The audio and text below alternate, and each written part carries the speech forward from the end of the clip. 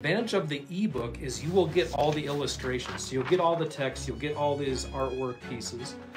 The audio, of course, we can't have the artwork in the audio, but you'll get the bonus of the custom sound effects that uh, Vince List uh, made for that, as well as all the voices of the characters. So really going to immerse you in the story there. As they say, the book can always be better than the movie anyway. So get this book out there. Movie to follow is the plan. All Here's some of the characters.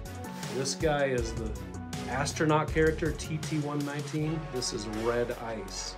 And both of those characters are in the film, but they're also in this book. Yes, and then uh, feel free to ask any questions for Tom while we're, we're here. I think we have like 40 people. Uh, people jumping in, jumping out. If you have any questions for Tom about the book, about his movies, um, anything, and, and just feel free to ask him.